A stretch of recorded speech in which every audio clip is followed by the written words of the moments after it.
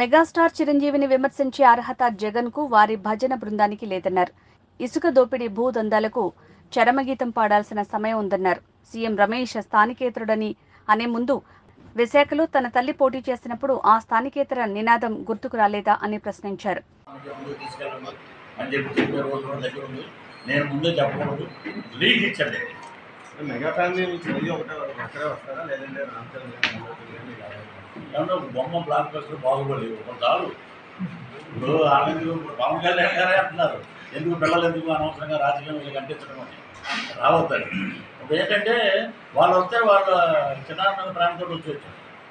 వాళ్ళు ఆపలేము మనం. అంటే అందరికీ రాజధాని కూడా చెప్పారు కదా రమ్మంటే కంపెనీ రావడానికి పిల్లల్ని ఎందుకు వాళ్ళని అడ్డమైన బూతులు చూపిస్తారు తెర మీదకి సీఎం రమేష్ గారు నాలుగు లోకలు కడప నుంచి వచ్చిన వ్యక్తి నువ్వు కడప నుంచి నువ్వు పోటీ చేసి వస్తే కడపలో అక్కడ ఏడవలసి నేను తీసుకొచ్చి ఇక్కడ ముఖ్యమంత్రి చేశాను ఇక్కడ ఆంధ్ర రాష్ట్రంలో. అలాగే మీ అమ్మగారు మరి అప్పుడు ఎలక్షన్లో మీరు వైజాగ్ ఎంపీగా నిలబెట్టారుగా. విజయమ్మ గారిని అప్పుడు ఆమె లోకల్ నాలుగు లోకల్ కదా? ఇది ఏంటంటే పనిచేసేటప్పుడు ఒక మంచి నాయకుడు గల ఉన్న నాయకుడు మామూలుగా ఉన్న వ్యక్తి కాదు ఆయన. ఏదైనా సమస్య మీద గట్టిగా మాట్లాడే వ్యక్తి సీఎం రమేష్ గారు.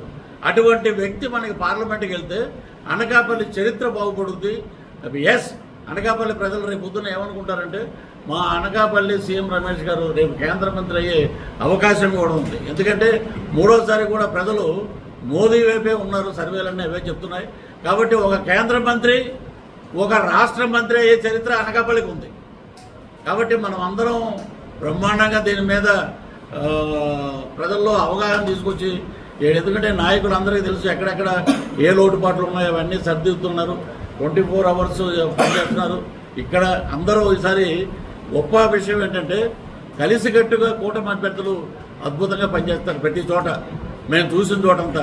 ఇప్పుడు ఇరవై ఒక్క మంది జనసేన అభ్యర్థులు ఇద్దరు పార్లమెంట్ అయితే ఈ ఇరవై ఒక్క మంది నూట నలభై నాలుగు మంది కూటమి అభ్యర్థులకి సపోర్ట్ చేస్తున్నారు. ఇది గొప్ప పరిణామం ఇది.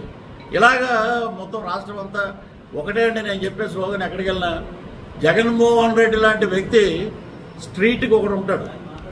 పవన్ కళ్యాణ్ లాంటి వ్యక్తి స్టేట్కి ఒకడు ఉంటాడు.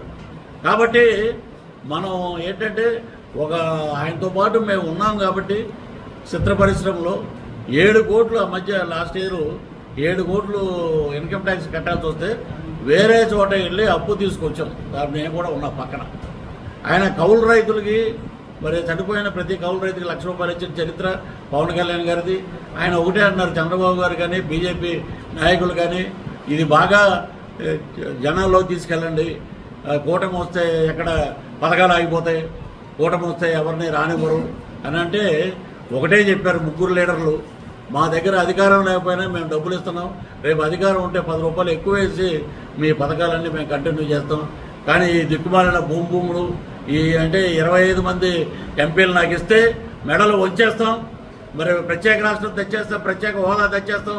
ఇన్ని మాటలు మాట్లాడారు కదా ప్రత్యేక హోదా తెచ్చాడో లేదో అది పక్కన పెడితే ఒకటేమో రాజధాని అని ఒక బాటలు స్పెషల్ స్టేటస్ అని ఒక బాటిల్ భూమి భూమి అని ఒకటి ఆరోగ్యాలు పోగొట్టి ప్రజలు నాశనం అయిపోతున్నారు. ఎంతోమంది చనిపోయారు దీని మీద. ఇంకోటి భూగుమ్మ రాజీనామాలు చేసేయండి. వాలంటీర్ వ్యవస్థ మేము వచ్చాక మళ్ళీ మీకు ఇస్తా ఉంటుంది. ఇది ఎందుకు చెప్తున్నానంటే వాళ్ళ దగ్గర ఈ అత్రం ఒకటి ఉంది. ఏంటంటే ఒక్కోటి ఒక్కోటి వదులుతుంటారు అనమాట మూకుమ్మడి రాజీనామాలు చేశాక రేపు పొద్దున అడుగుతుంటే ఏమి ఉండవు. ఎవడో పట్టించుకోరు. ఇలాంటి ఒక అగమ్య గోచరమైన పరిస్థితుల్లో ఒక బెదిరింపులకి మరి ఇన్ని రకాలుగా అర్ధరాత్రి వచ్చి నిన్న ఎంపీ గారు సీఎం రమేష్ గారు కూడా మాట్లాడారు. అర్ధరాత్రి వచ్చి ఒక రెండున్నరకి నేను ఫ్లైట్ లేట్ అయ్యి వచ్చినడికి మూడింటికి దమ్మని తలుపులు ఓపెన్ చేసి ఒక సిఐ గారు కానీ ఒక ఏడెనిమిది కానిస్టేబుల్స్ కానీ ఆయన లోపల నుంచి అలాగ పెట్టుకుంటూ వచ్చేస్తున్నాడు కెమెరా లాగా. ఏ తప్పులు చేసామో మేము ఉగ్రవాదులు మేము స్టార్ క్యాంపెయినర్గా వచ్చాం. ఉగ్రవాదుల్లాగా మీరు అలా రికార్డ్ చేస్తారు ఏంటంటే లేదంటే జస్ట్ వెరిఫికేషన్కి వచ్చామని అన్నారు. అది కరెక్ట్ కాదండి. మళ్ళీ ఆయన ఏమంటాడంటే ఇంకోటి దాంట్లో ఒక చిన్న స్కామ్ నాకు కనపడింది. అదే సార్ బుద్ధిగారు ఇక్కడ ఎవరో లేడీస్ మీద ఫోటో దిగాలంటున్నారండి. ఆ టైంలో లేడీస్ ఎక్కడి నుంచి ఉంటారండి? తెల్లారుజామున మూడు గంటలకి? ఇవన్నీ ఏంటంటే అక్కడ నిన్న నామినేషన్ అయ్యటానికి వెళ్ళినప్పుడు రమేష్ గారు నామినేషన్కి వెళ్ళినప్పుడు అక్కడ డిఎస్పీ గారు కూర్చున్నారట. మరి ఇలాంటి చర్యలన్నీ ఉన్నాయి? పత్రికా ముఖంగా మీరు ఖండించాలంటే మా కార్లు ఎక్కడున్నా ఆపేసి ఒక ఏమంటే సార్ ఇది లక్ష యాభై వేలు ఉందంటే? నాకు యాభై వేలు కూడా నేను జేబులో పెట్టుకోకపోతే ఎందుకే మరి? ఎవడైనా మంచినీళ్ళు ఇస్తే మీ సేమ్ జగన్మోహన్ రెడ్డి ఇస్తాడు మాకు? లేకపోతే ఏదైనా వెళ్తున్నాం హైవే మీద కాపీ తాగుతున్నాం. మీరు ఏమైనా ఇస్తారా మాకు? ఉన్నారు ఐదుగురు మా టీంలో? ఐదుగురు దగ్గర ఐదు పాతికలు ఉన్నాయి అనుకుందామంటే లేదంటే డబ్బులు ఇక్కడ పెట్టేయండి అన్నారు దీని మీద కూడా ఉన్నారా మీరు అని చెప్పి ఇచ్చేసాం. మేము